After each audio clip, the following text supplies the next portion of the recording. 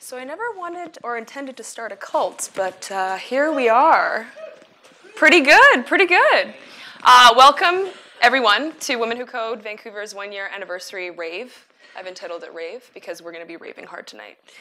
Um, a year ago, we sat in Microsoft Garage, and it was an incredible event. But never in my wildest dreams did I expect to surpass 1,500 members in one year. So thank you, everyone. Um, I'd also like to say a special thank you to Microsoft Garage, Microsoft Vancouver, and Best Buy Canada, who is filming this, uh, this evening. So if you've missed something, you have friends that you want to share the, the event with, uh, this will be online later, uh, and slides will, will be integrated in that presentation as well. So this is me. I am Holly Peck. I am one of the founders and directors of Women Who Code Vancouver. Uh, I'm currently a research scientist at Sanctuary AI, which you'll hear about a little bit later uh, where I'm focused on building cognitive systems for our in-house robots. So that's a little bit about what I do. Um, but enough about me. This is us. So this is Women Who Code. Everyone in this room wasn't a member of this group or organization last year. And in a year, we've done incredible things. Uh, so the strategy of my talk this evening is going to be to draw some parallelism of, you know, one small story of a woman who codes, me, my small story, and parallel that with the larger narrative that is the birth of women who code, and of you. So before software, because I wasn't always in software, uh, this was the fundamental question I was asking. And it's a little bit odd without you know, any context, but I was asking what makes us human. And the reason why I was asking this is because when I was a junior, rising junior in university, I was invited on a archaeological dig to the Dordogne, Les Pradelles, uh, region in France. And I was invited on a Neanderthal uh, excavation site. And I cannot tell you what that experience was like for me when you're given a rocky quadrant of space and you're using a paintbrush to literally unearth, chisel in the, in the ground, uh, objects that were once held by Neanderthals. And when you, you know, hold a denticulated biface tool in your hand, you kind of think, wow, the last person, the last entity to have held this object was on the fringes of humanness. What does that mean? What does that, how did we get here? So that's the kind of question I was asking. And I, I decided to, to get into technology because I thought, you know, in the spirit of our, of our species, why not retool myself? And uh, for, for, different, for a different vantage point on, on this one fundamental question. So I got into tech because I want to be this. Uh, this is a little tongue-in-cheek, but for those who don't know, uh, this is Seven of Nine. That's her Borg designated name. And she's a member of Voyager crew. And I thought, and she works in astrometrics, and she's a boss. She's like the ultimate tech lord. Uh, and I, I really, uh, I really loved her. I thought, you know, she was just totally, totally incredible. And uh, this is my joke slide, so I wanted to be that. But really, no, just kidding. I didn't, I didn't really want to be that. Um, you know, software is eating the world. This is a, a term we've heard.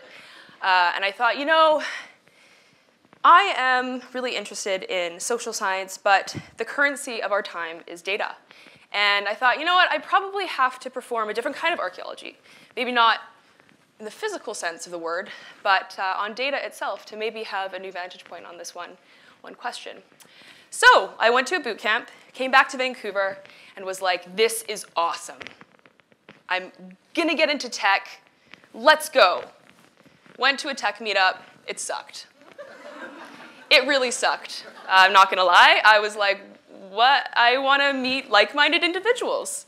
I wanna, I wanna see what it is to, to be working on front-end development. What does front-end development even look like at a company as opposed to company Y and a company X? And I just had no visibility. I, did, I was missing that vantage point. Um, I didn't go to school for engineering in, in BC, so I actually went to school for anthropology in the States. So I just, I missed that camaraderie. I missed that, that salon of knowledge. And I, I kept finding myself asking, like, where the heck are the women engineers? Um, I, I, especially went, I remember going to a, uh, a tech agnostic meetup in, in Vancouver, which I won't, won't name. Uh, and I, I, walked into the room and I, there were two women in a, uh, in a monthly event of like 80. And one was the girlfriend's organizer, and one went into tech, but it was not her thing, so she went back into marketing. And I was like, oh my God, this, this, this, if I'm experiencing this, like other women engineers are experiencing this because I know they're out there. First milestone was starting Women Who Code and founding it with a group of incredible, incredible women, uh, directors and, and co-founders. And what the intention was for this group was building a laboratory of data scientists and creatives focused on the mission of sacred knowledge transfer. That was the mission. And so we did, with a couple mandates. One was keeping conversations technical.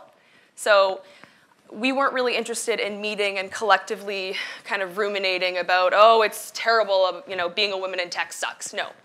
Uh, that was kind of uh, misdirected. We wanted to kind of confer and meet and, and give code demos and learn new ideas and, and learn new technologies and frameworks and, and may, maybe even start a company. Like, why not, you know? So that was kind of mandate number one. The second mandate was dropping the ego. Um, I think something happens with esoteric knowledge where the egos just are high because there's a really high barrier to entry uh, for understanding these ideas. So we really wanted to drop the ego, ego and kind of focus on a collaborative learning uh, environment. Third one was helping women pivot and stay in technology. Um, so more than 50% of women actually leave technology before reaching mid-career. Uh, and so we really wanted to um, foster a community that really empowered and encouraged women to stay stay in technology and move up the, the ladder vertically. And then, frankly, we just wanted to kind of start a salon of knowledge transfer. This also, the slide is a little bit tongue-in-cheek. Um, you know, how it helped me, I made tech lord friends, all of y'all. I landed this cool tech lord job. I love the word tech lord, by the way, in case you haven't noticed. Um, and I learned like awesome skills. Um, but beyond that, uh, three of my very close friends actually, after having gone to one of these events, ended up enlisting and enrolling in a boot camp, came out the other end, and now are working as software engineers. So these are women who have just completely side-tooled and have gone into technology because of going to these events. And actually, one of them, it gave, gave her a mobility to actually move to a different country, and she wouldn't have been able to even think about that uh, as a possibility for her. So that was really, really how it helped me uh, in a more personal, personal note. Um, and how it's helped us. So look around. We have changed technology culture in Vancouver by creating a, a locus of, of knowledge transfer and knowledge sharing. We've fostered a new image of what an engineer looks like. That's amazing when you think about that. And of course, we've connected knowledge transfer with actionable opportunity, meaning we've, you know, Women Who Code since launching has given away countless tickets to events, um, promoted the visibility of women in hard engineering by allowing them to demo projects, uh, sometimes even talk about and recruit other engineers without going through the middleman of a recruiter who doesn't probably know the difference between Java and JavaScript, in my opinion. But uh, yeah, it's, it's a, basically a community for engineers uh, by engineers, and so that's what we've done.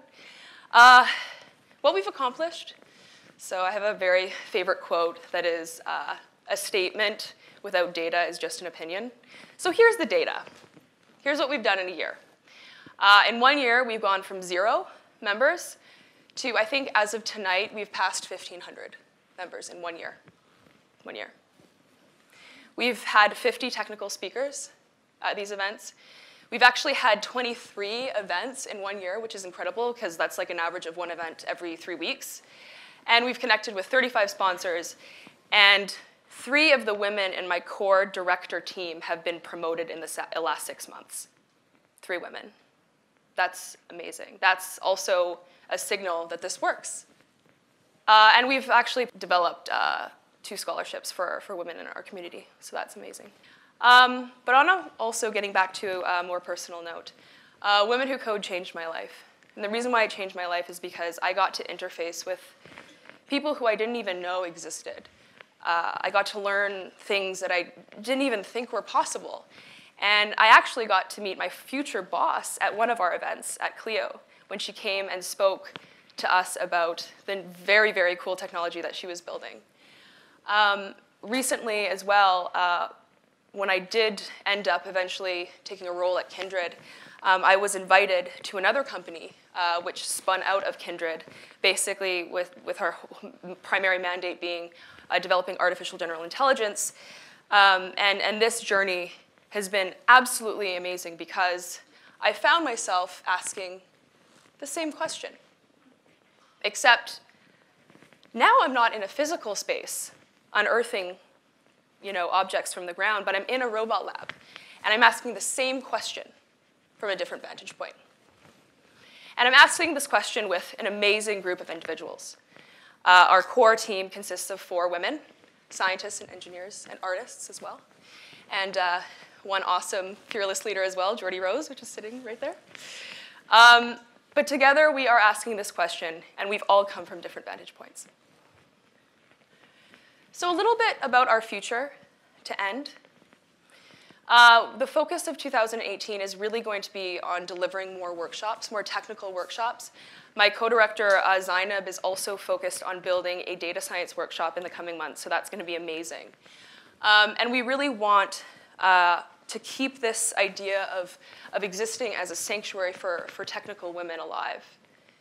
And within that vein, also broadening the pipeline for younger engineering talent by, by interfacing with high school students. So we can you know, pair early decision making into actionable um, job opportunities in the, in the real world. And one of my goals as well is uh, to surpass 10,000 members in five years. And just for some perspective, um, the Women Who Code Toronto chapter has been uh, in existence since 2014. They've held 56 events in four years, and their membership is 2,100. We've surpassed, or we are surpassing membership 1,500 in one year. So that just gives you kind of a glimpse of where we're heading and where I want the focus and the epicenter of technology to be in Canada, in Vancouver. Um, and to end this uh, first part of our evening, I'd like to thank you because you are, you know, our founding members. And I really hope this, this group continues to exist before, before my time here. And you know, maybe one day synthetic humans will be a part of it.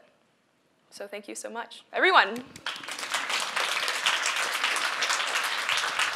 Uh, twizzle means tweet, by the way. So drop me a twizzle. That's my, uh, my Twitter. Uh, so now I would like to invent, uh, invite to the stage Dr. Suzanne Gildert. She is Sanctuary's fearless leader and CEO, and she will be delivering her, uh, her talk. Awesome.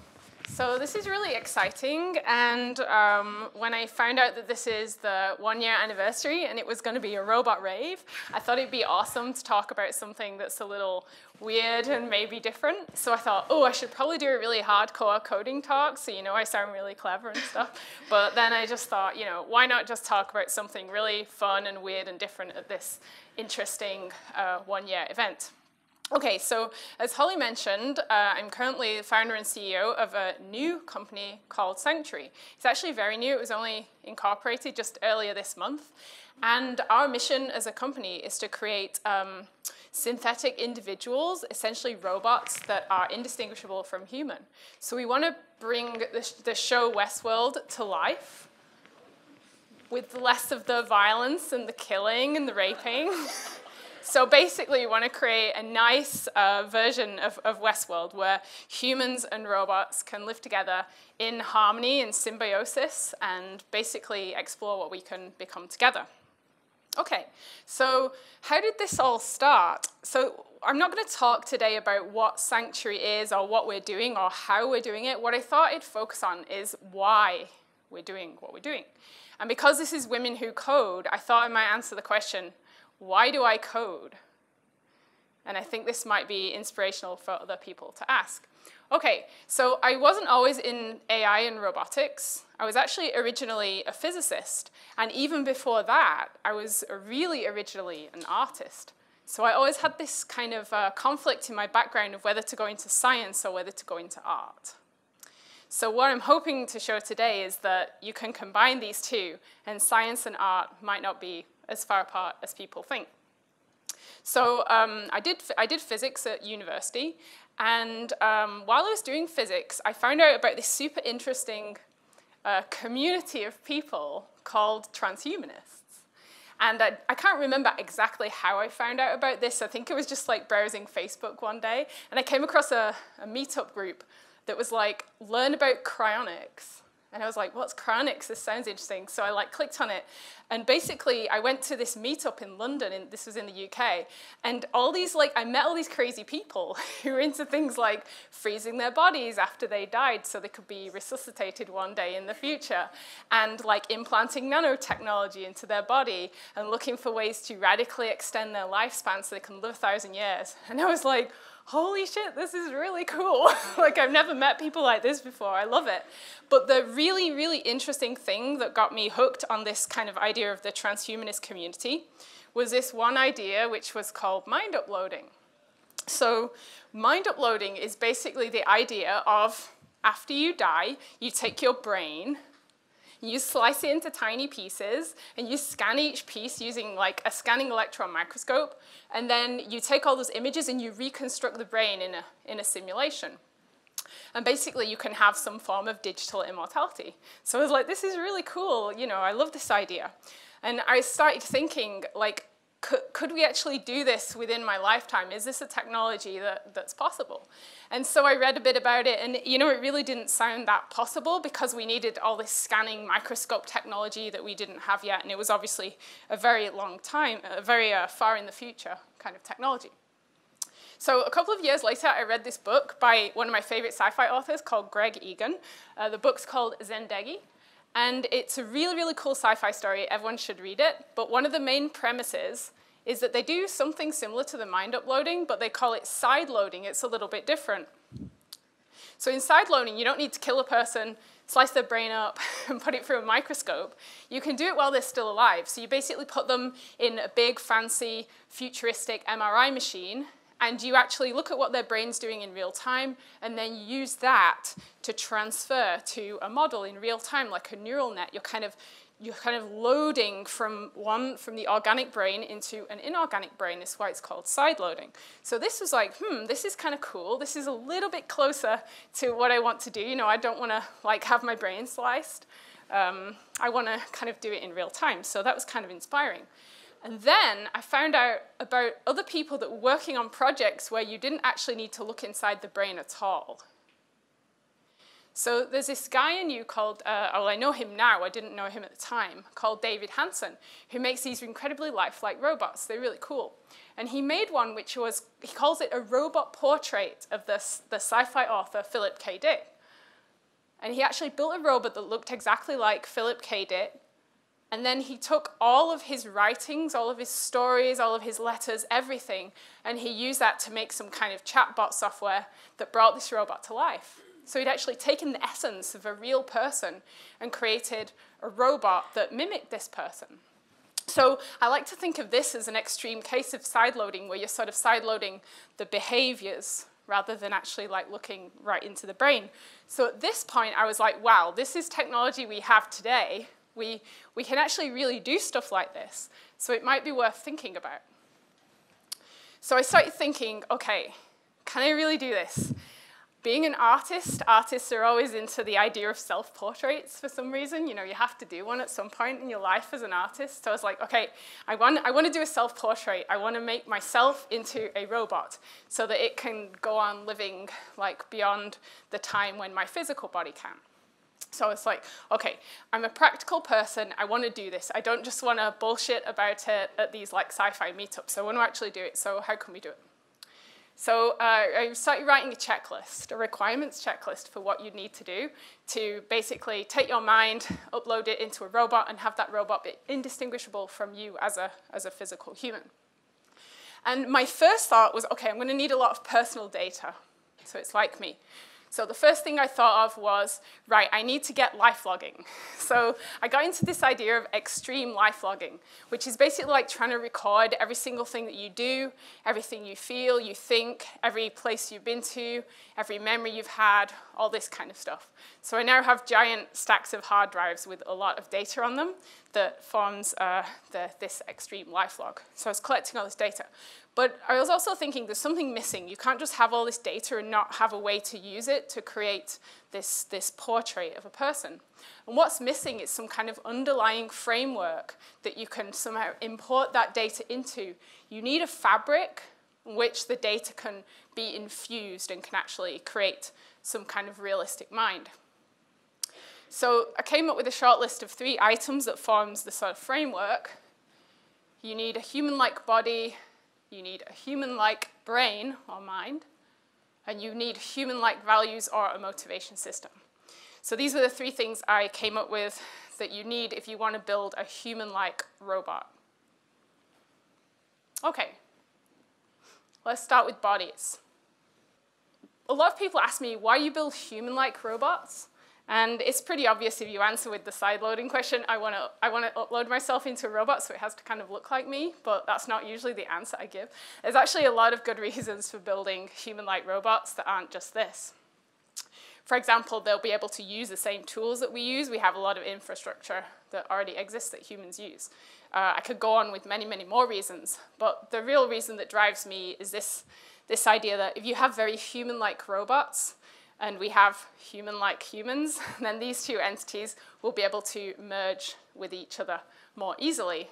If you want to transfer the mind of one entity to another entity, it helps if all the control systems are the same. You know, if you're training a, a fighter plane pilot and then you put them in a completely different system like a space shuttle, they're going to be more confused than if you put them into a similar fighter plane right? So we want to want to transfer the mind into a body that's very similar to its original body.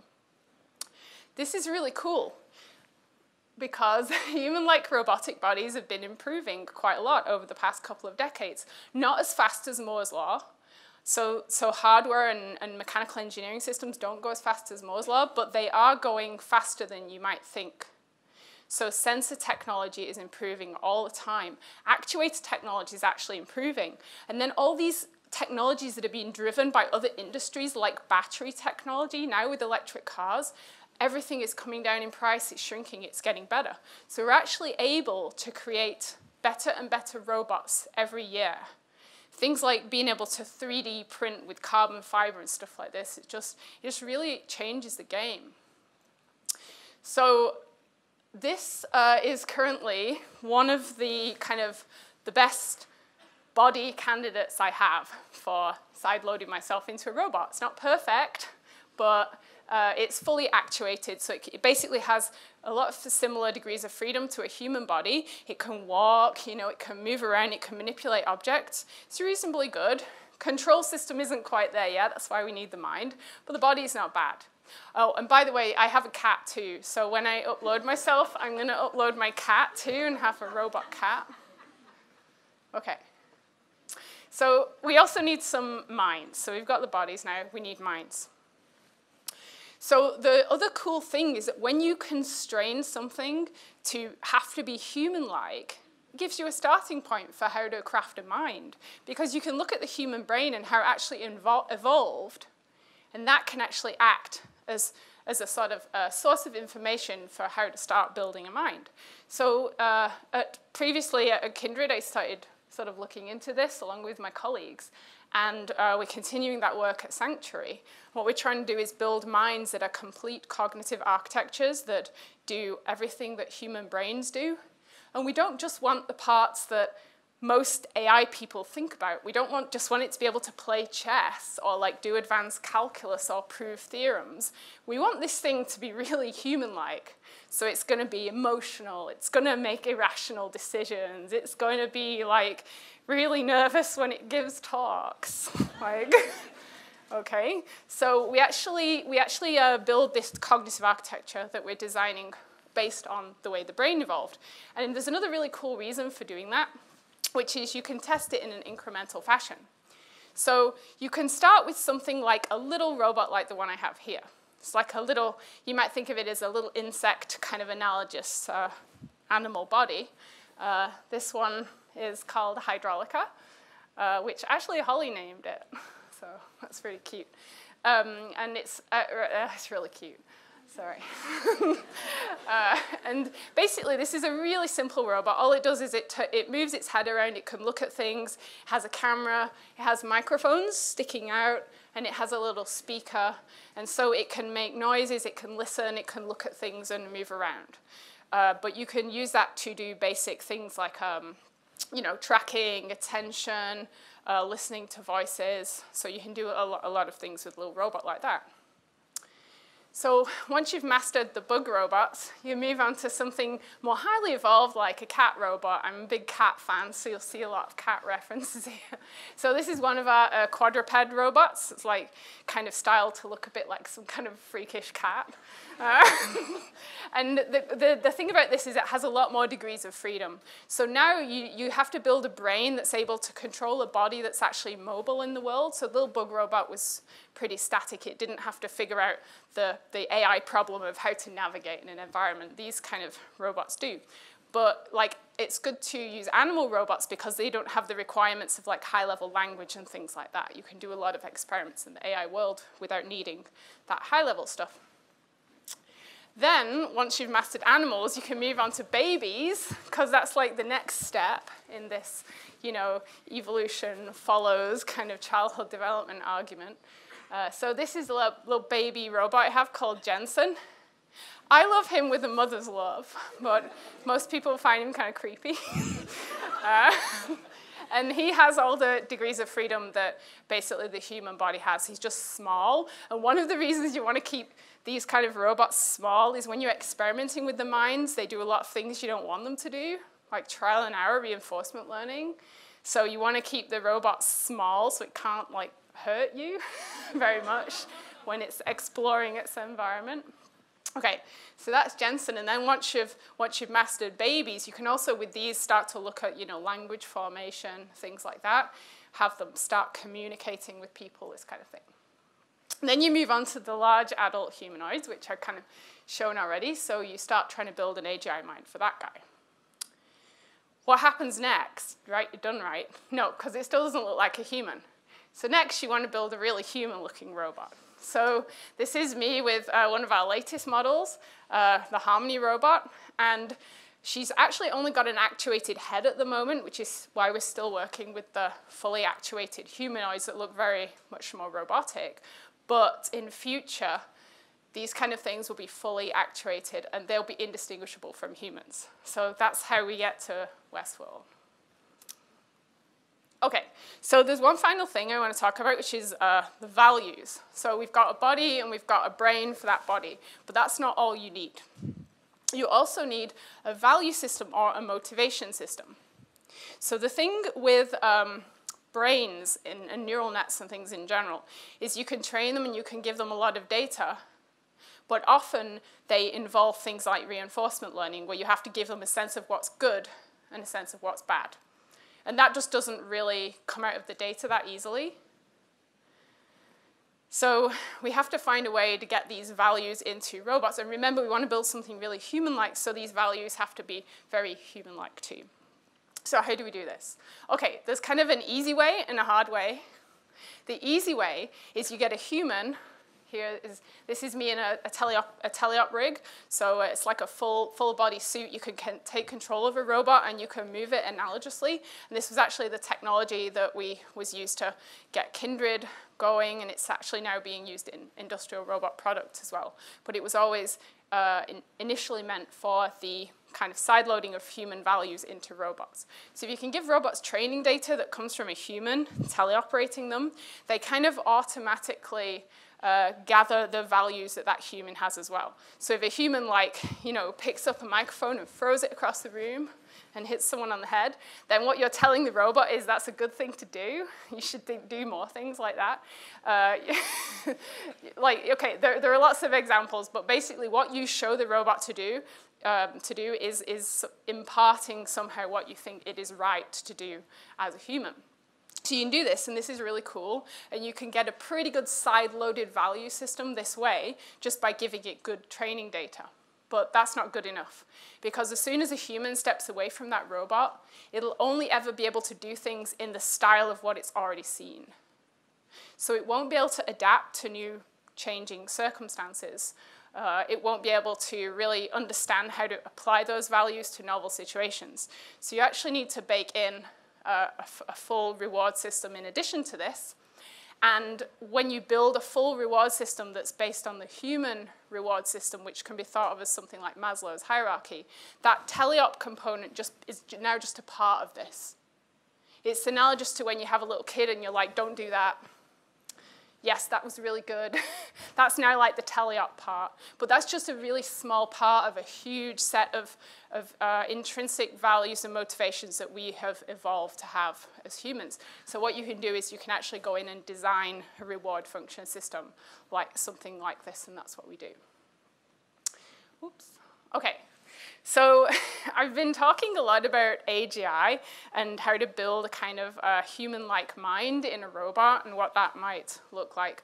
Uh, but I want to come back to this sort of like lifelong quest I've had to create this sort of self-portrait thing.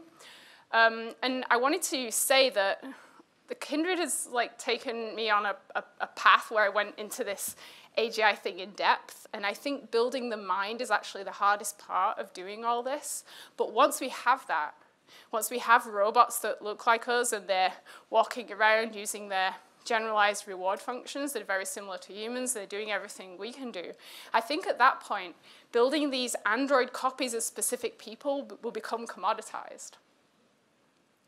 So I think if you can build a robot that's generally like a human, it then won't be much more effort to go from that to something that looks like a specific human.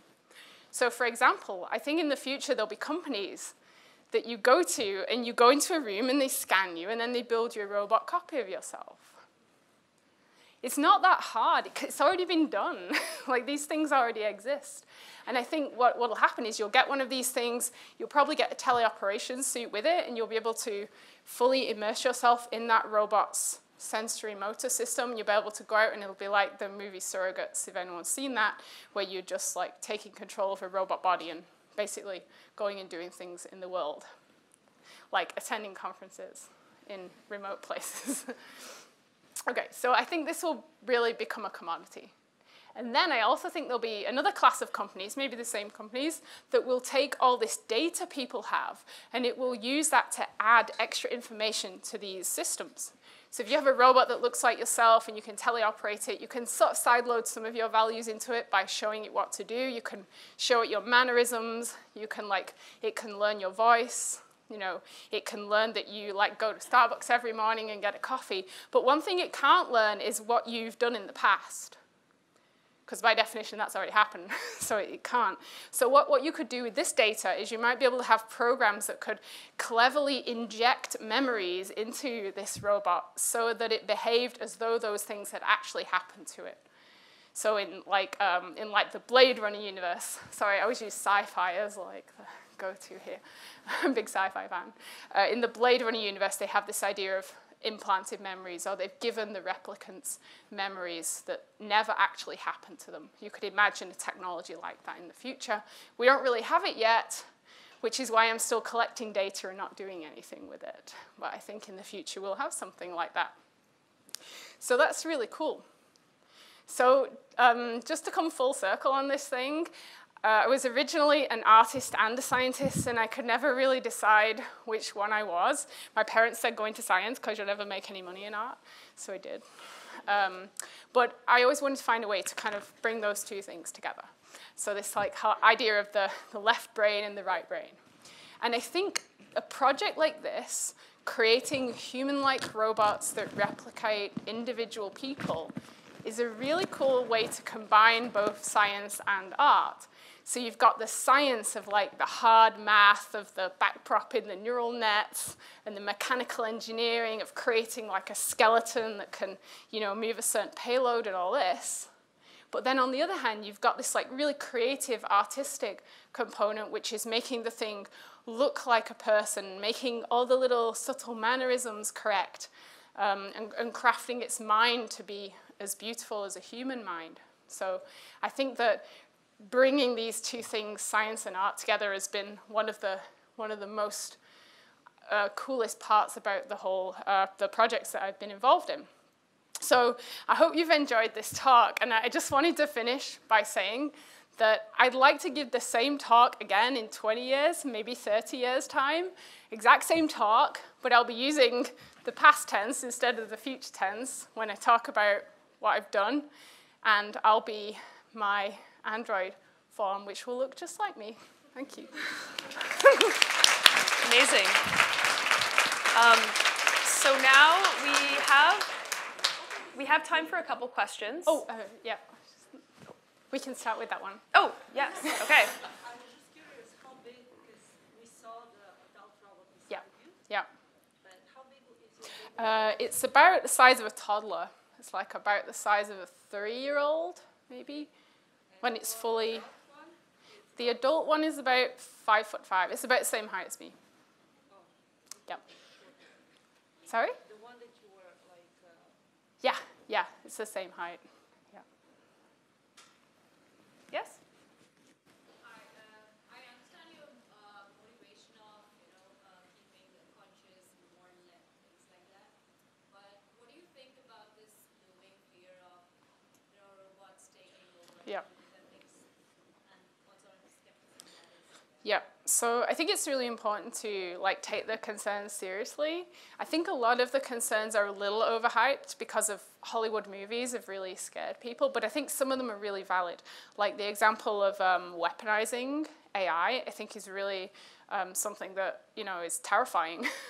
Um, the, one of the reasons that both at Kindred and Sanctuaries we never wanted to go into that side of things is because it's, it's kind of scary and we want to build AI that can actually work with humans uh, and provide things that uh, humans can't even provide nowadays. So I love the idea of um, things like using these systems in education. So you'd have a teacher that doesn't just know about one branch of science, say, but knows about all branches of science in the same depth as like the most expert academic researchers. And you could imagine a system like that uh, that could, you know, uh, form a like a, a, hive mind across all like robots who are doing science research or something like that. So that would be really cool.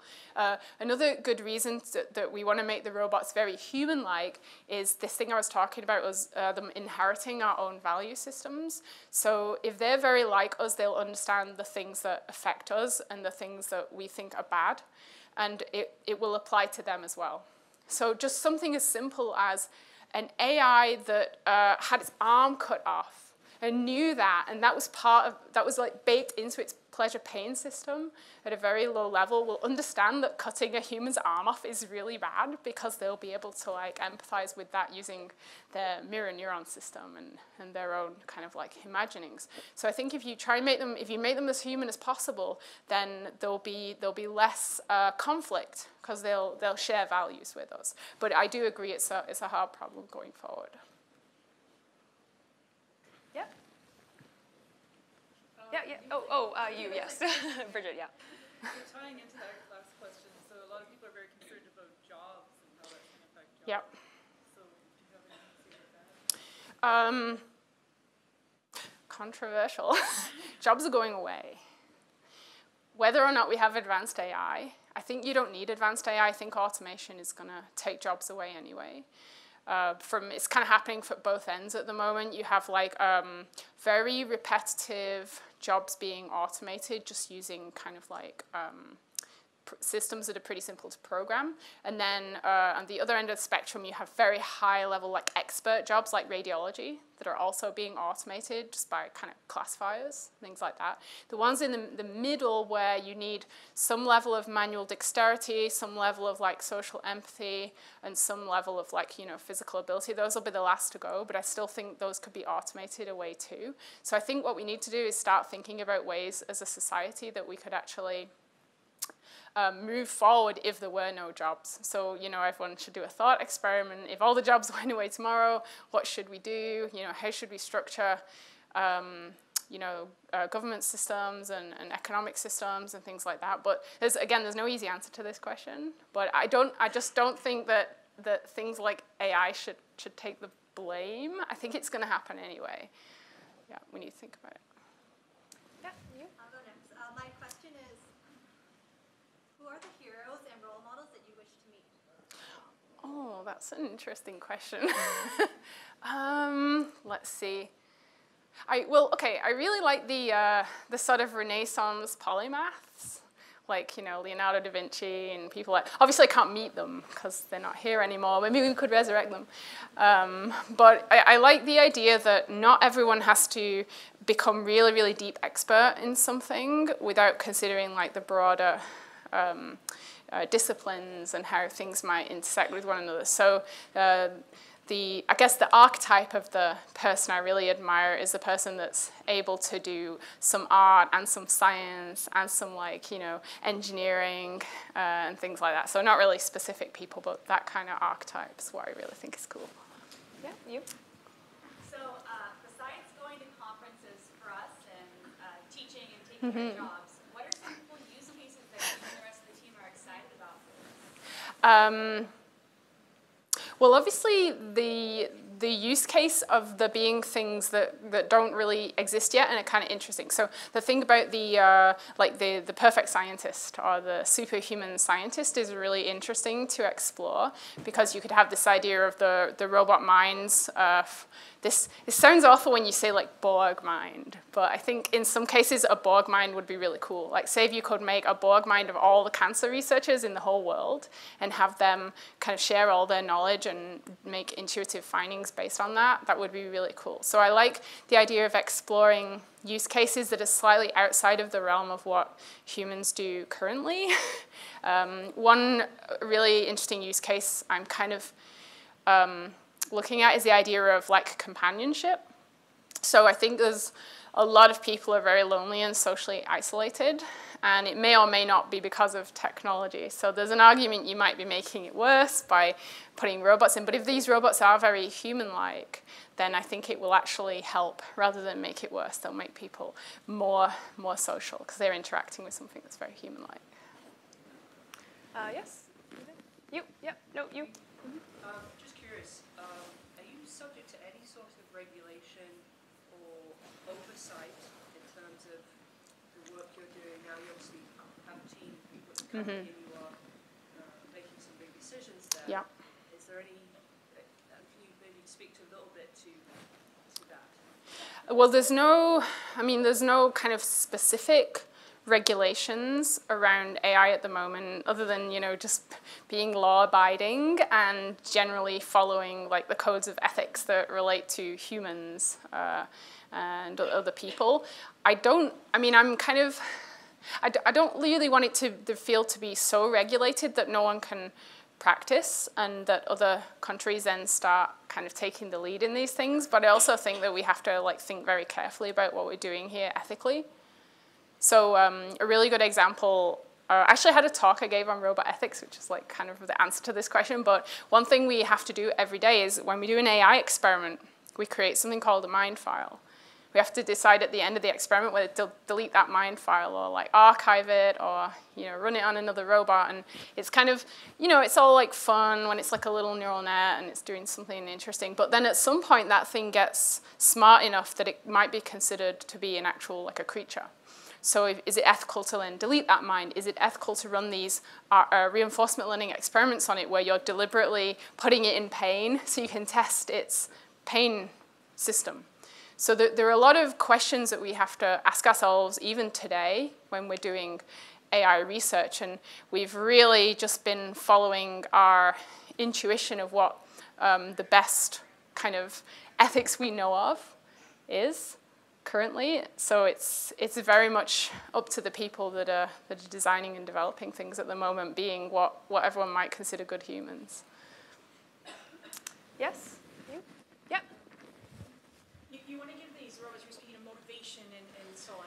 Yeah. So who gives these robots the goals? Because you may have something you want the robot to do, and uh, you know if you really made it like you, it might say, "No, I want to make a better self-portrait than you did," and, Yeah. and so on. So you know they be, they're they're more like copies up to a certain point, but don't give them free will. You know they're really slaves or something like that. And, and it, obviously this is Yep. this is not all the way where you are now, but uh, you know what are you what are you thinking there? Are you trying to make autonomous? Yes. So the way I think about this is that there's kind of uh, it, it's very similar to when you when you raise a child. So a whole bunch of the motivations kind of get come along for the ride from evolution. So things like you know aversion to pain, things like hunger, all these kind of things, they're just built in. So we just build those in and we try and make them as, as human-like as possible. Then there's this sort of uh, what I call the, the social side loading of the values. So that's like taking the child and then teaching it what we know as a society. So saying like this is good, this is bad, this is right, this is wrong, you can do that. But then um, after that, the the uh, system really has to then decide for itself when it goes out there in the world. And it's, again, it's very similar. Uh, you you you raise the um, the child as well as you can, but at some point they go out there into the world and the power turns off. Creepy. yeah, so at some point they like go out there into the world and then they get to make their own decisions and what they're basing those decisions on is all those inbuilt instincts plus the instincts you've kind of uh, built into them. Uh, and I think we should follow that model. I don't know if there's a, I don't think there's a better model because I don't think you should just, um, this is kind of the Isaac Asimov thing. I don't think you can just say, you know, uh, picking up litter is always good and throwing microphones at people is always bad. I think if you try to hard bake these really specific rules into a robot and don't tell it anything else, I think you'll end up with these like loophole scenarios. So I think you have to give it a very broad framework of very general things that we think are good and bad as a society. We have time for two more questions. Uh, at the back, yes? Yeah.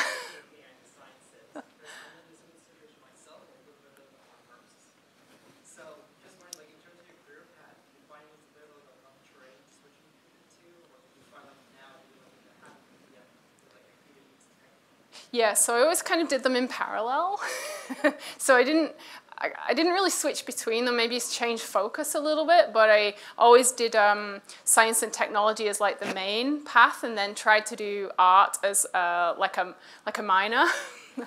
um, keep them both going in parallel. And then I'm just glad now I've been able to find some way that they merge together because I, I, knew there was some, some way. I just didn't know what it was. so, I mean, there, there are other things you can do if your, if your mind works like this. Like another thing I thought about was going into web design because I just love the idea of um, the design meeting like the hard tech parts of, of web coding as well. So that was something else I, but the, the reason I kind of chose this is because I really, a very like hands-on person. I like building things. I was always like a kind of maker type person. So I, I just thought robotics was a really uh, good thing to go into. Okay, last question. In the back with the scarf? Yes.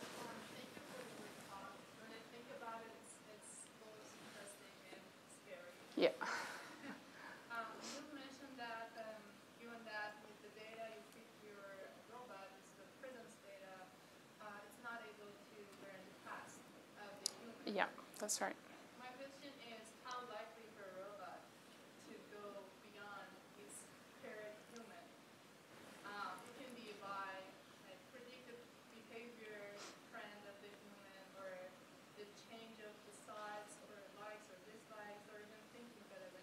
Mm-hmm.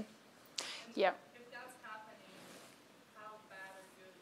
Right. So yeah, there's something I've thought about a bit as well because it's like, okay, you want to create a portrait of yourself, but by definition, it's kind of a snapshot at one point in time.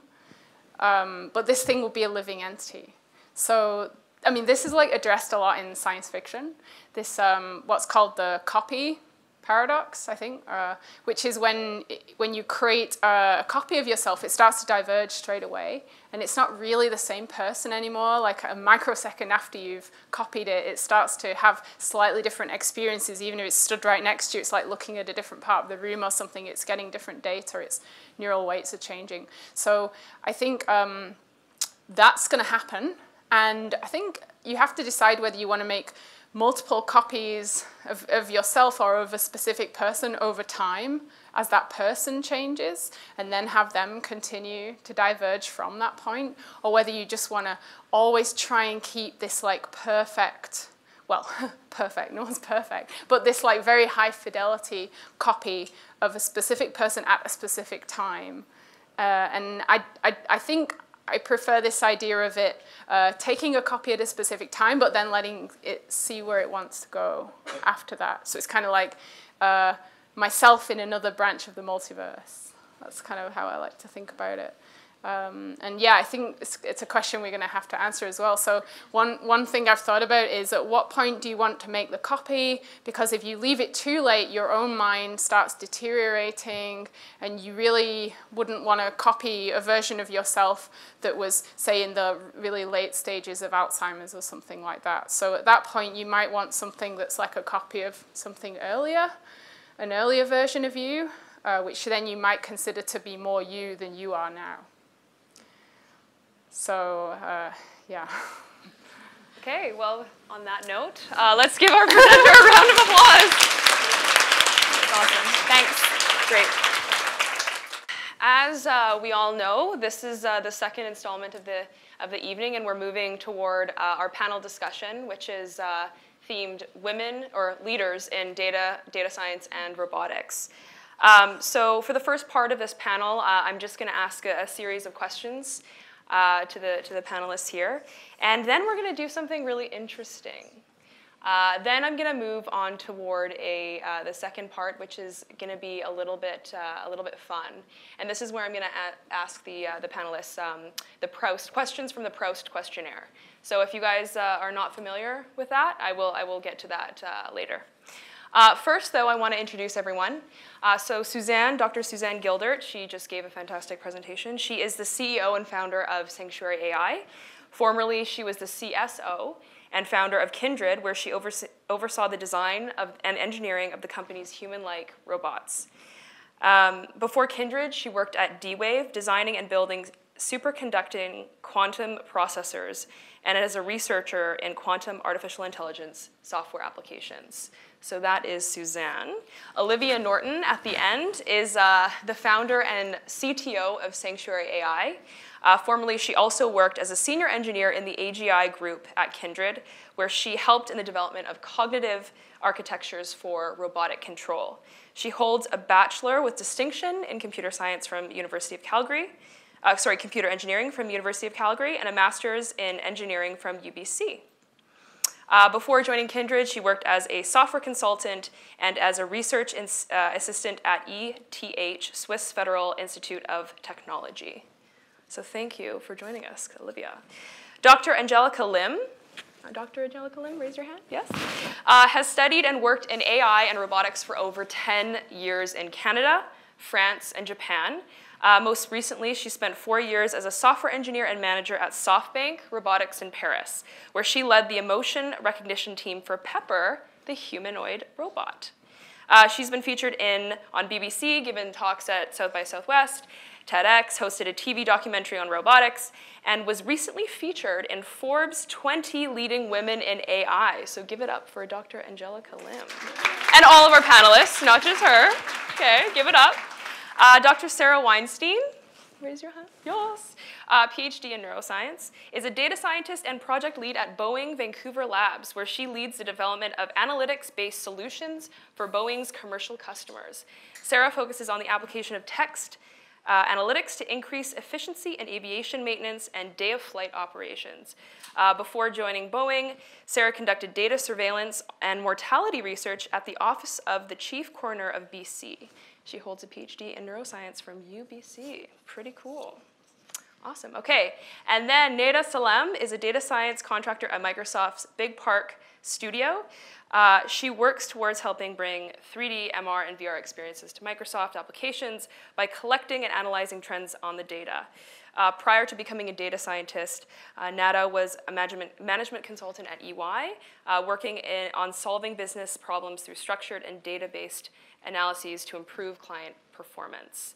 Uh, and her goal, to end, is to empower management to make better and more informed data-driven decisions for the organization. So give it up for our panelists. Okay, so to kick us off, Suzanne, um, let's start with you and, and just ask the, the question on everyone's mind. So how have you come to the point in your career where you're able to focus on building human androids? And I know you touched on this, but maybe you can talk about you know, uh, the progression of your career as you know, a quantum engineer turned Kindred CSO and now kind of the CEO and founder of Sanctuary. Yeah, I didn't really go into that a lot. Yeah, so. yeah. um, by the way, don't ask me a lot of questions because uh, I want these other guys to ask the question.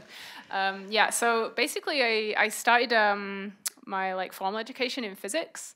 Uh, I did physics with electronics degree and then a PhD in physics, and it was really cool. Um, and that actually was how I found out about D-Wave because I was doing uh, work in um, superconducting quantum processors, which are used in quantum computing.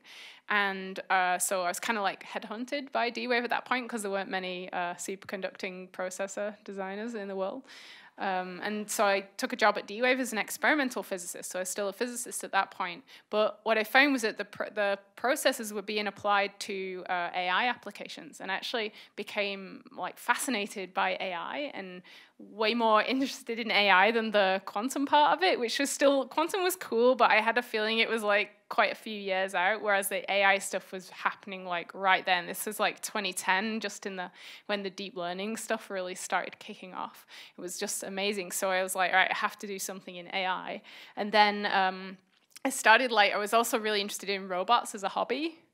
And so I don't know, maybe it's just like a personality thing, but I was like, how can I create a dream job? Uh, okay, let's like build robots and do advanced AI on them, and just and also I have to like give a shout out to Geordie, who was my mentor at D-Wave, and he was the one that uh, was kind of like, you know, don't just sit there talking about this all day. Why don't you actually start a company and do something about it? And he gave me a lot of business mentoring and experience on how to like do startups. So I think that was that was kind of, and now I'm just addicted to it, and I want to like make loads of companies. That's awesome. Uh, so Olivia, uh, as Sanctuary's founder and CTO, your role, as you have playfully described it, is a builder and mind minder. So what are some technological constraints one needs to mind when building minds? Yeah, absolutely. Um, so Suzanne gave us a quick synopsis of what we're up to at Sanctuary. And uh, the vision that she portrayed for us here is really founded on three uh, kind of technical um, perfections. Uh, and those three things are the body, the mind, and the motivation, value, reward. So as we saw, the, the robotics is moving in the right direction, though we're not quite there yet. So this idea of building a strong, beautiful, agile, uh, human form that is able to take on the challenges that we take on every day is en route, so stay tuned, but we're clearly moving in the right direction. The, the question of the mind and the question of the reward value motivation systems, those are, those are really hard questions, um, and we're also moving in the right direction there. Uh, the, those two problems are the ones that I think about the most. And now, having said all this, the, th the three main things that I think about are uh, flexibility, scalability, and timing. um, so let me just say a little bit more about all those things. Okay, so uh, let's start with scalability. So we, uh, Suzanne showed a picture of Hydraulica, our little hydro robots. Everybody at the office has a testbed robot sitting on their desk. So you, you, you need to do any sort of kind of reward modification, you test it on there first before you throw it on the human body. Uh, fair enough.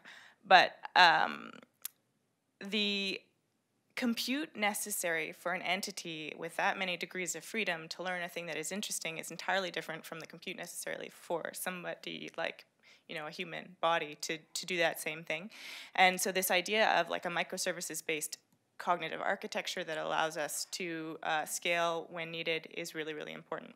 This leads me to the next question which is the, the flexibility part or the next point which is the flexibility part and what what I like to keep in mind as we're developing this architecture is that we ideally want to provide our brain engineers with uh, a platform in which to experiment that is entirely up to them. So the, the question of human intelligence um, from the neuroscience perspective as well is not answered. And there are things that we don't know. And so therefore, rather than building for something like a, a, a client that has very specific requirements, we try to make this as a kind of open as possible for the for the for the brain engineers that are doing their work. And then last but not least is the timing thing, which I know um, uh, affects all sorts of different uh, technical industries. Um, but in reinforcement learning, well, learning in general, the question of how timing impacts uh, systems' abilities to learn is important. Um, so it's just one of the things that we also change uh, regularly. Yeah. Cool. Thank you, uh, Angelica. So previously, as, as we all heard, uh, you worked as an engineer and manager at SoftBanks Robotics in Paris, uh, where you led the emotion recognition team for Pepper, the humanoid uh, robot. So kind of thinking about that experience, can a robot have feelings, and, and how could this work? I have a whole talk about this, but um, first I should probably say that the following opinions do not reflect my former employer. um, I, although working at SoftBank was great, I had a team that was uh, 80% women of engineers, mm.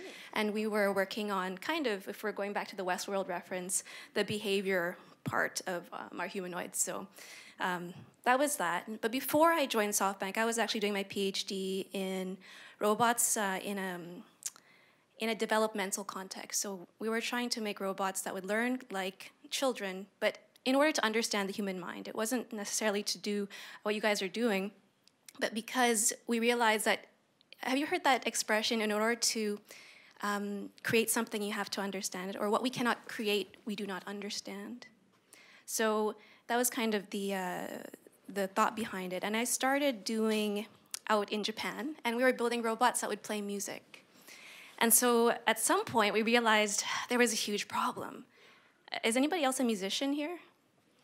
Yeah, okay. So I'm a musician as well. And so I realized music music is about feeling, right? It's about being able to feel something and express that through music. Or you can think about it as when you listen to music, somehow these weird sound waves make you feel something, right? How does sound make us feel happy or sad?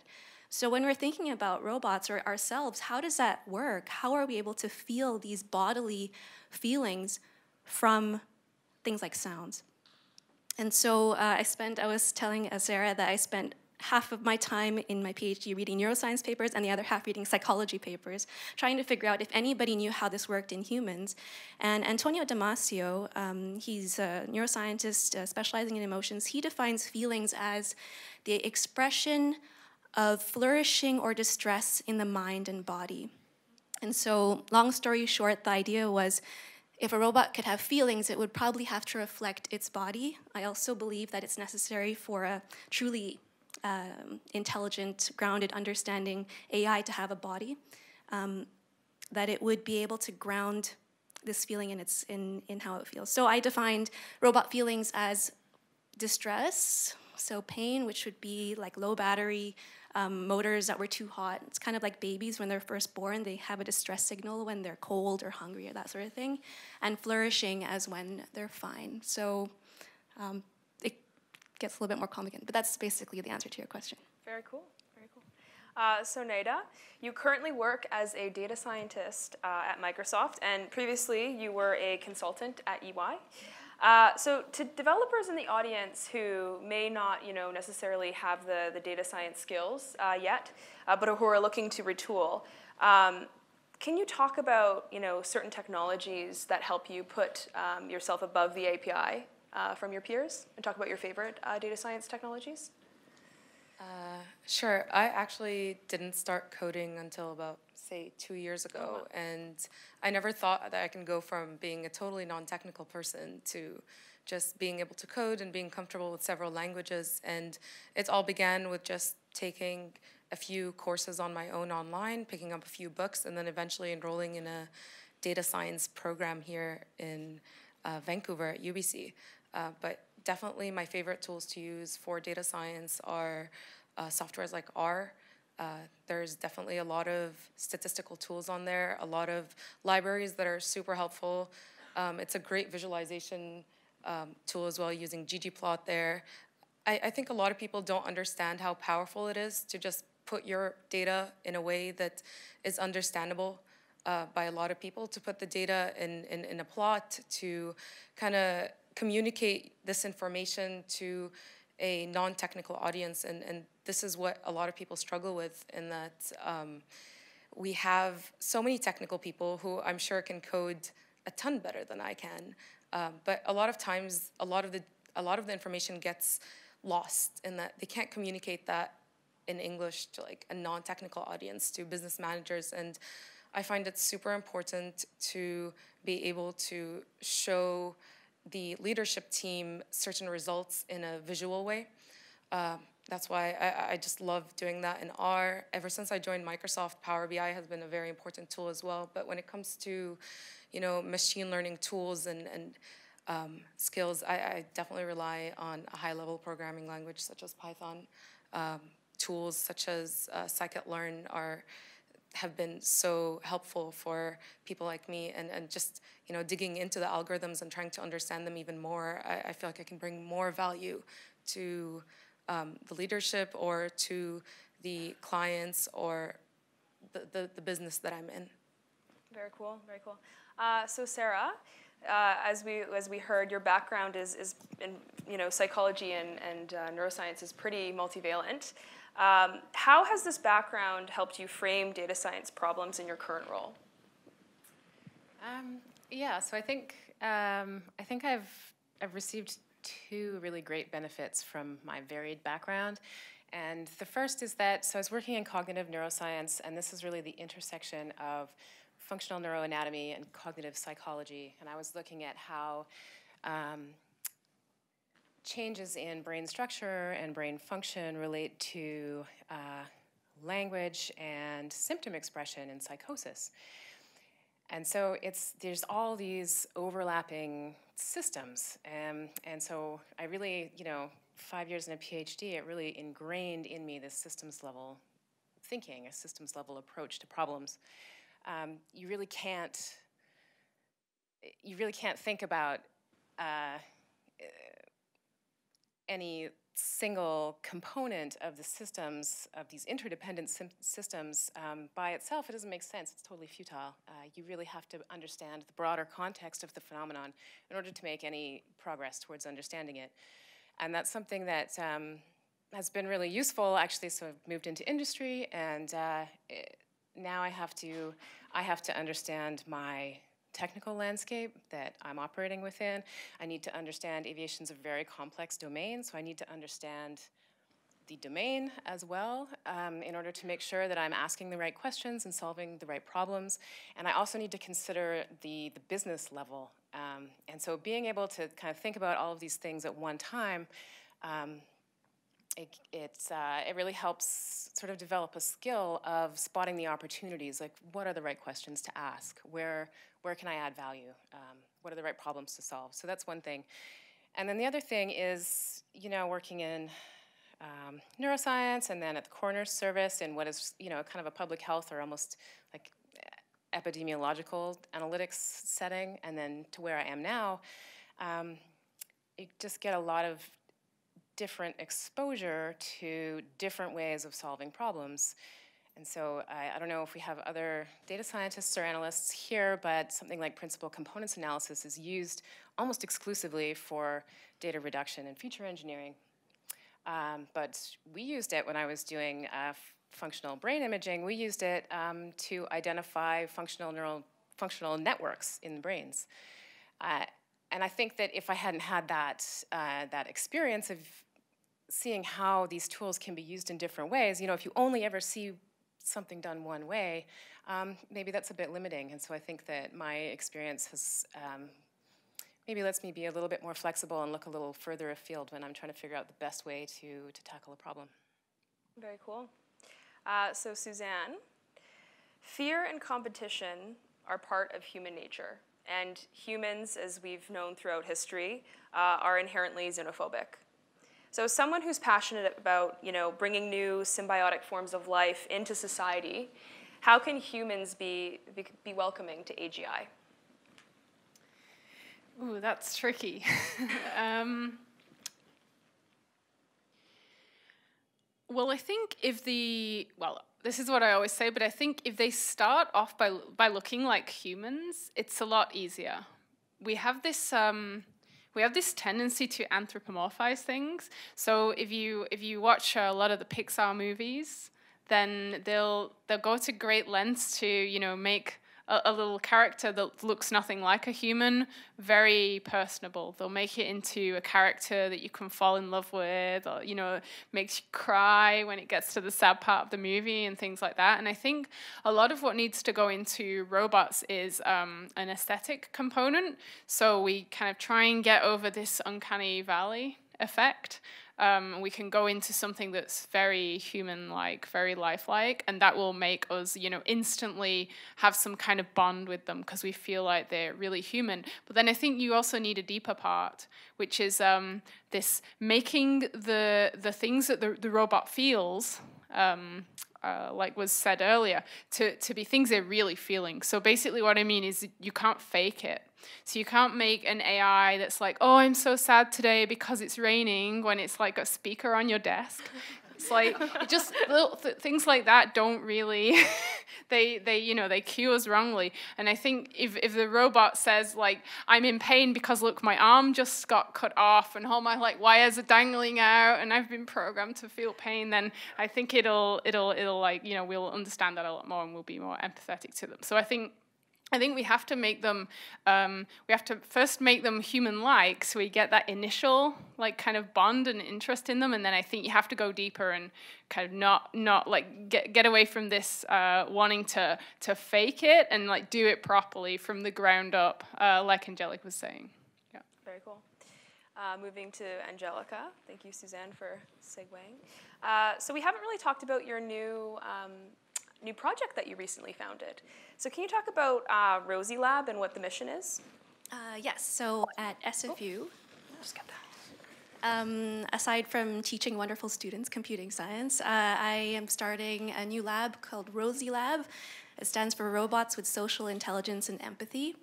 Um, my goals are not to build a human looking robot actually it's it might be humanoid robots but i want them to always be distinguishable from humans uh, three missions. The first is to make robots that can interact smoothly with us. So and and be useful. So thinking about Rosie from the Jetsons, I don't know if you knew that.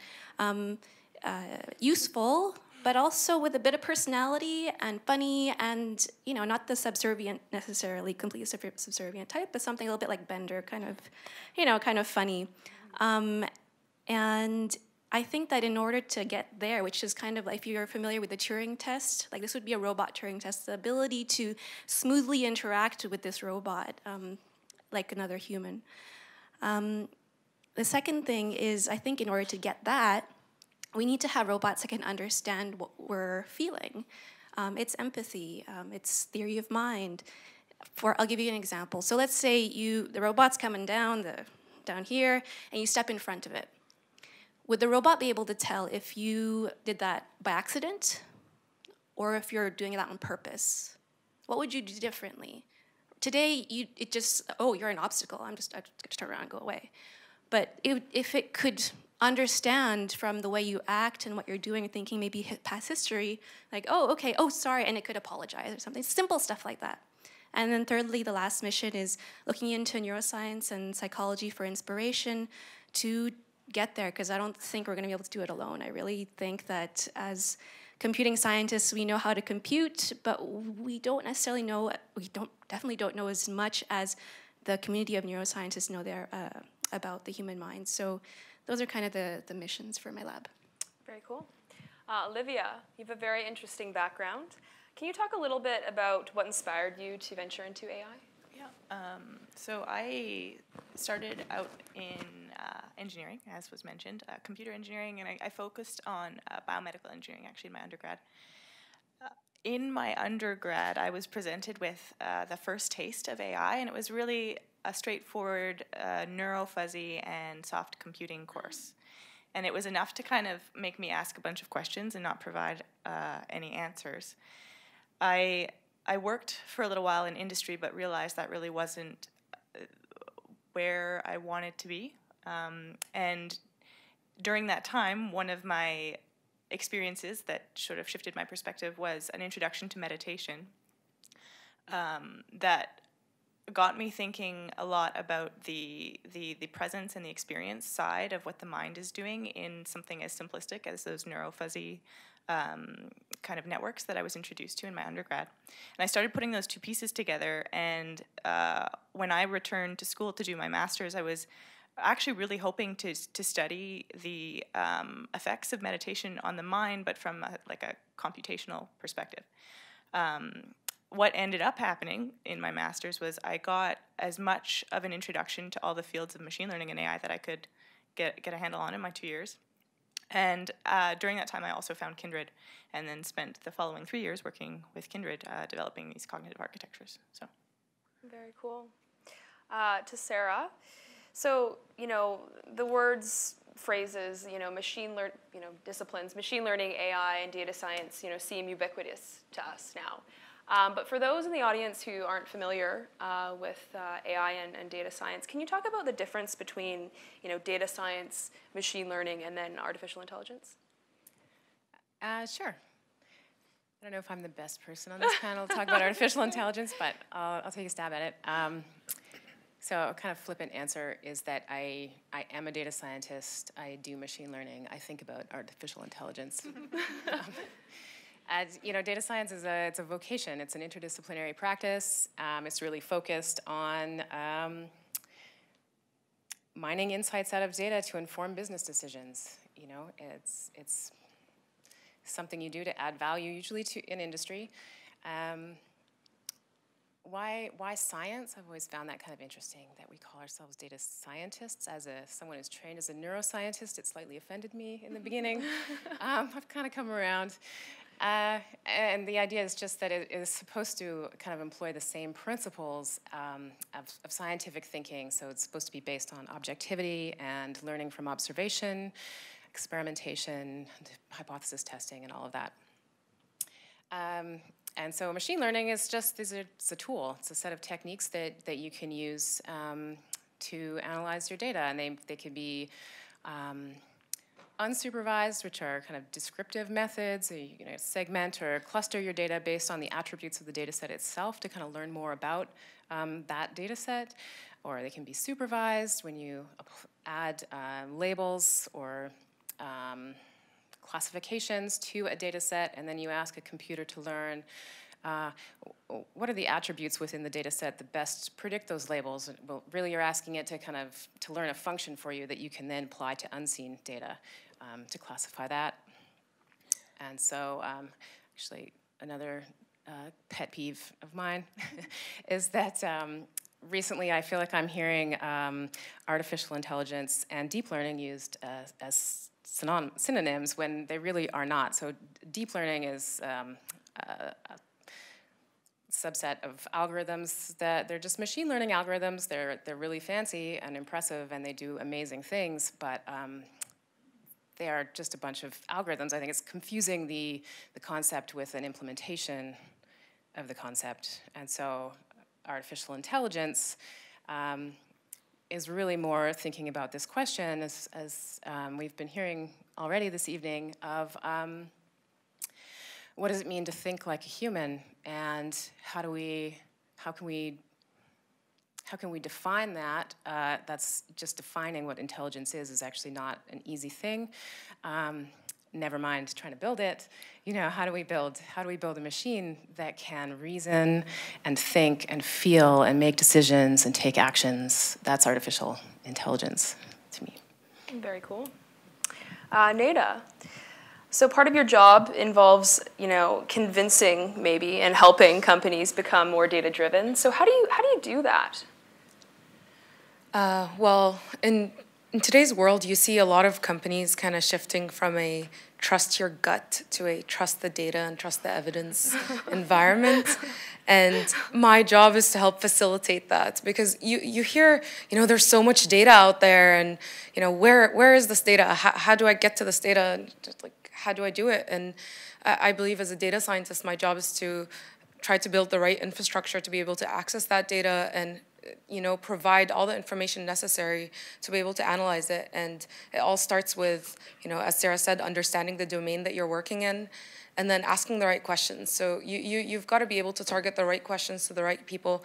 Uh, you talk to your, your bosses, your managers, and you say, what is our business goal? Is, is, it, is what we want short term? Is it long term?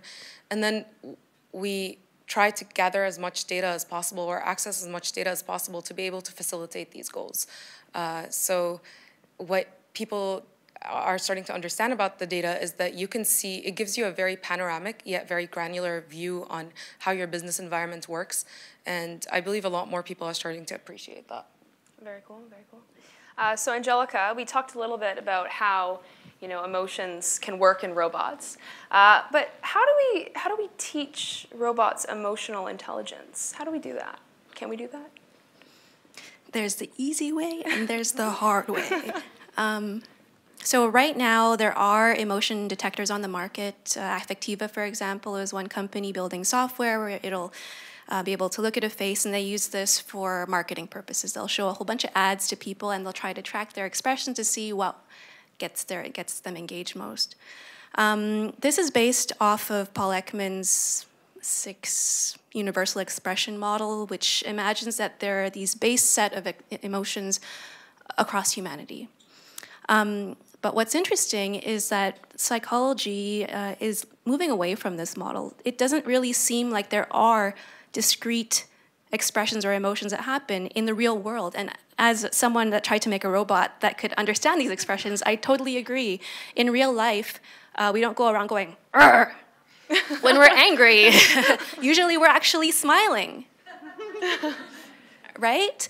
that little like there's like 12 different meanings for a smile or we might laugh uh, we would actually laugh more in social social situations than when we're alone um, I had this issue where, for example, a robot looking at me concentrating on the computer, it would think I was unhappy, but I'm just concentrating. Does your partner ever say that? Like, are you angry? I'm no, I'm just thinking. I'm just thinking. Anyway, so So if you read, uh, there's a really interesting book called How Emotions Are Made by Lisa Feldman Barrett. Um, she's a Canadian researcher. And she talks about how uh, emotions or how we learn to interpret emotions is really based through experience and individual experience. And we know that because from culture to culture, emotions are expressed at least slightly differently. Um, I lived in Japan for six years, and for sure, uh, emotions aren't expressed or used in the in the, ex the exact same way. So um, yeah, the the hard way would be to have a robot that would go through life and learn these emotions as it goes through life, through interactions with humans that would teach them their emotions. Uh, like in one family, which was very extroverted, these emotions would be very different from another family, which is very reserved, that sort of thing. So yeah, one way is lots of data, very actually difficult because most of facial um, data is not anonymized. So it's hard to get that data. And then there's that other interactive way. Very cool. Uh, Sara, in general terms, uh, what excites you most about your current role at Boeing? Without, um, you know, mentioning anything proprietary, no uh, so, what excites me most? Um, partly it's opportunity. Uh, aviation is it's a really really big industry and it's a very complex domain. So uh, and there's just mountains of data everywhere you look. So there's sensor data coming in off the aircraft. There's um, huge amounts of um, engineering data, maintenance and reliability data, um, even problems that seem like they should be simple, like crew assignments, are viciously complex, require these huge optimization models to, to get right. Um, and it's, it's an old industry, and it's airplanes, so it's very risk averse. So we are not at the bleeding edge of anything, which means that kind of nothing has been done. Uh, there's just so much potential. There's so much, so much data, and and the company is really the last couple of years is really kind of waking up to the idea that. Um, uh, there's huge value in this data. Uh, so that's really cool.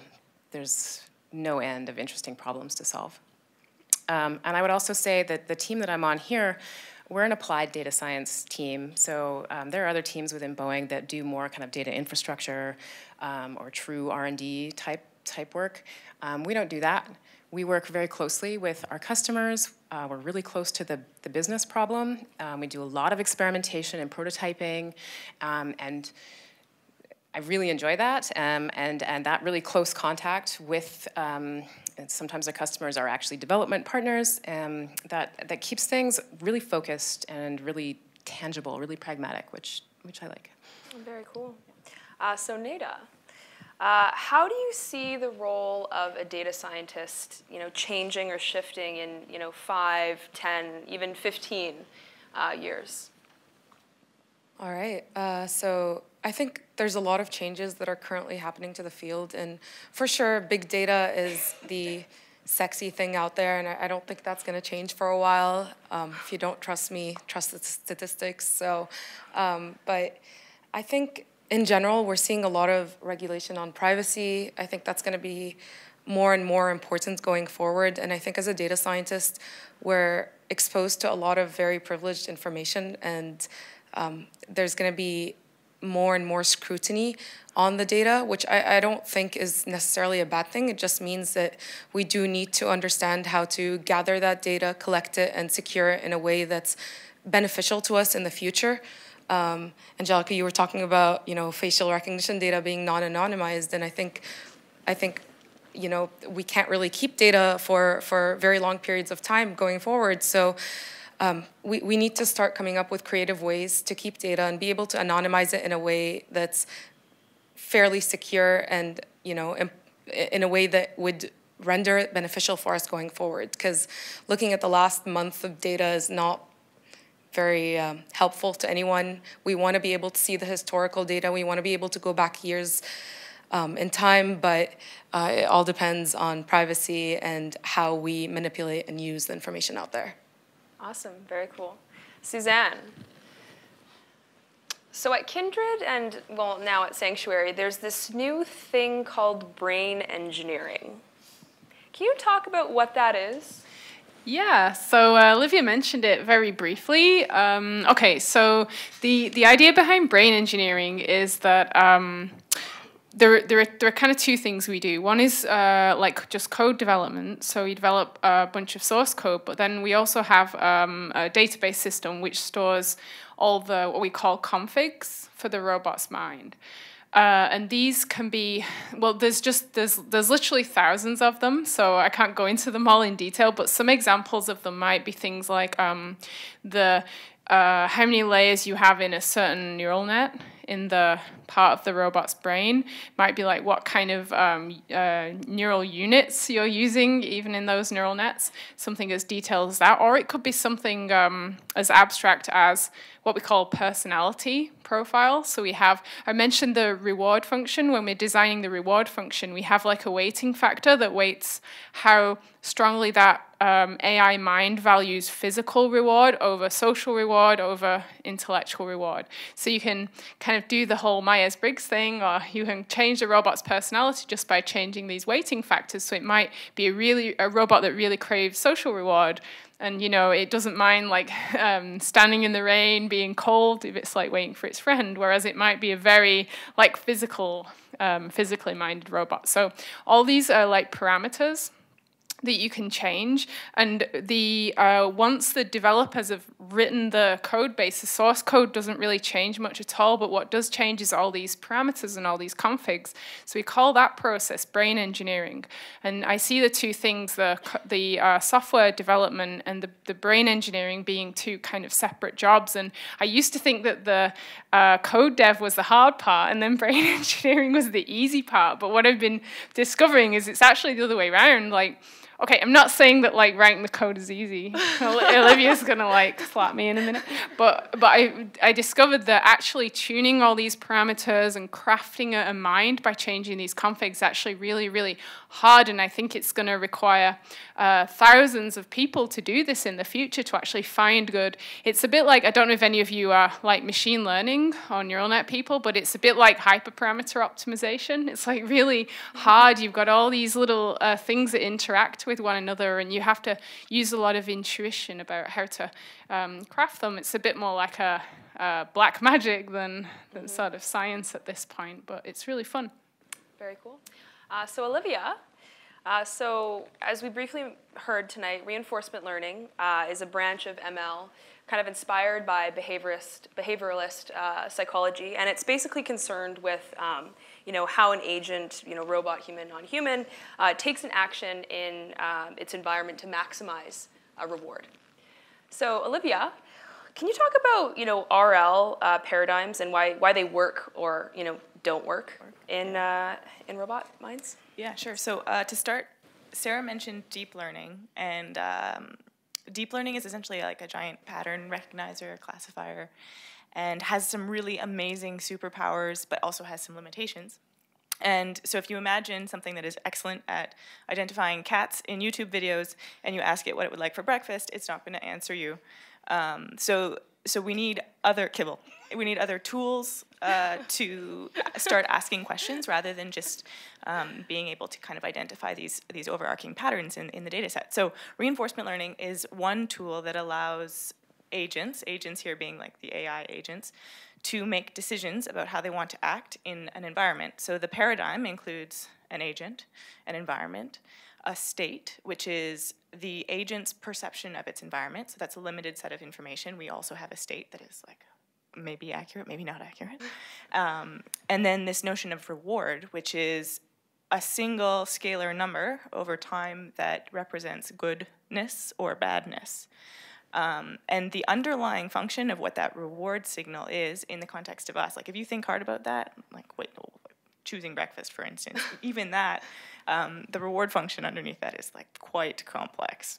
So um, uh, reinforcement learning gives us this other power that uh, deep learning does not have.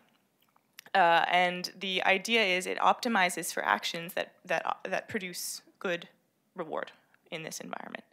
Um, it doesn't solve all the questions by any means, but uh, it's it's a it's a path in the right direction. Uh, in terms of what when it works well and when it doesn't work well, so uh, generally reinforcement learning in, acad- in academia reinforcement learning experiments are set up in a really nice kind of synchronous way so agent takes action uh, reward or no reward and then it can take another action it, it, it, there's a change in the environment in the state immediately uh, and it can immediately assess whether that action was good. Uh, in the real world, that doesn't happen. Um, and so this, this question of reward allocation over time, so if I like knock Suzanne, at the moment the reward is is not negative, but maybe I'm going to get in trouble later. yeah, and and then how do I how do I attribute that reward back to the, to the action I took? I mean, um, as, a, as a learning system, that's really complicated. So those are the types of questions that become more of an issue when you move out of academia, out of experiments, into something like a, a physical system, like a robot.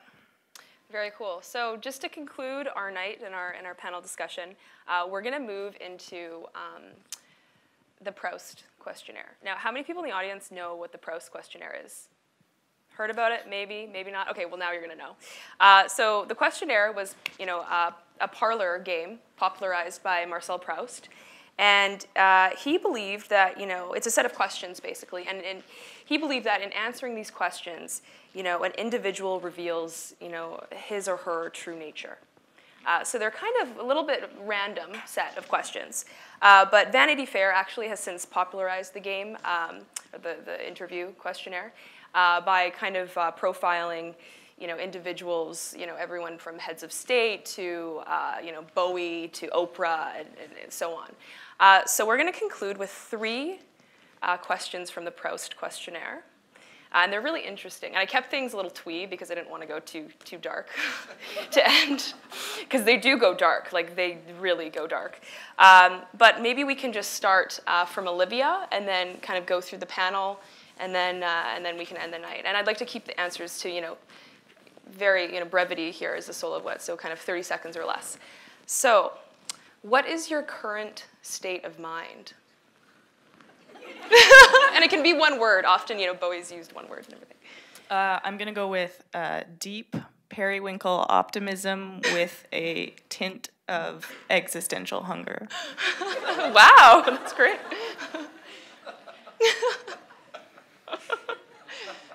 I think you.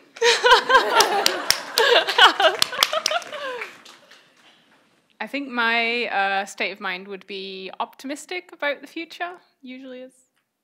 Very cool.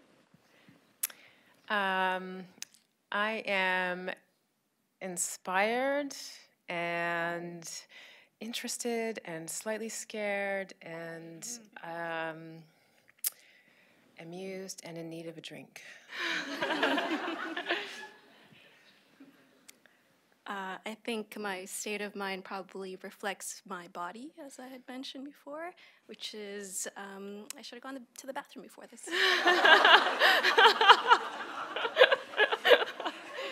Same, actually. All right. Um, a little bit of nervousness, but at the same time, very privileged to be here sitting next to these amazing women. Cool. Okay, question number two. Uh, start with Olivia. Uh, you know what? Yeah, let's let's let's go this way. Let's switch it up. Um, what is your perfect idea of happiness? I, these are really hard, and these are the light ones. So you know.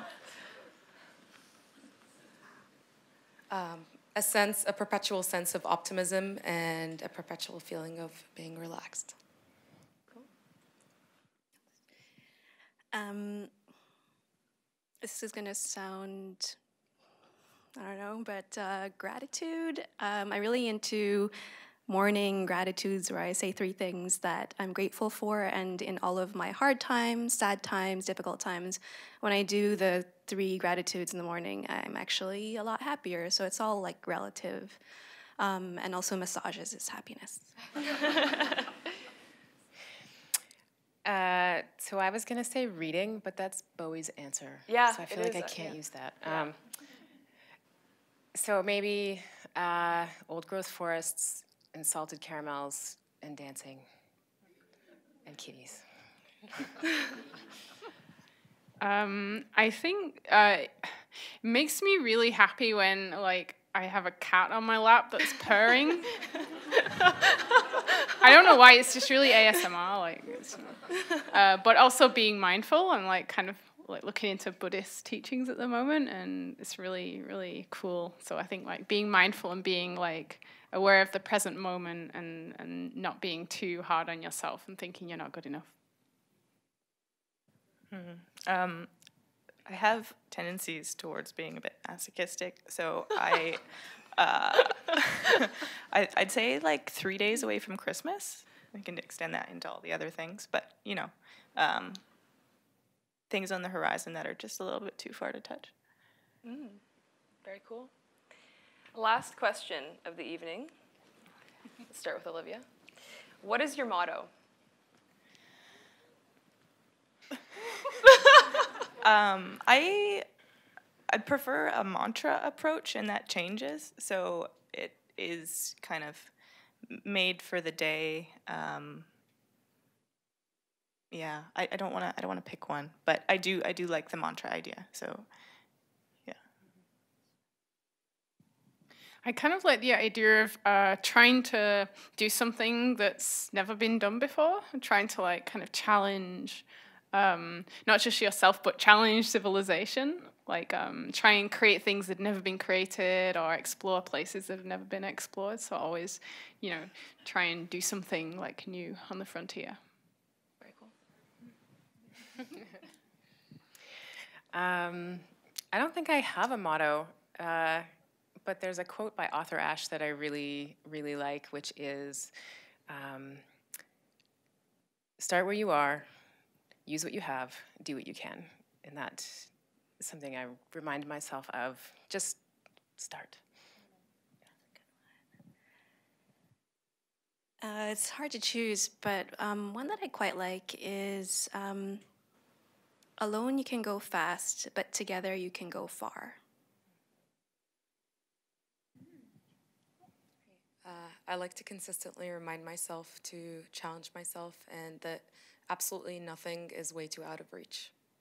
Very cool. So on that note, thank you everyone. Kicking off year two.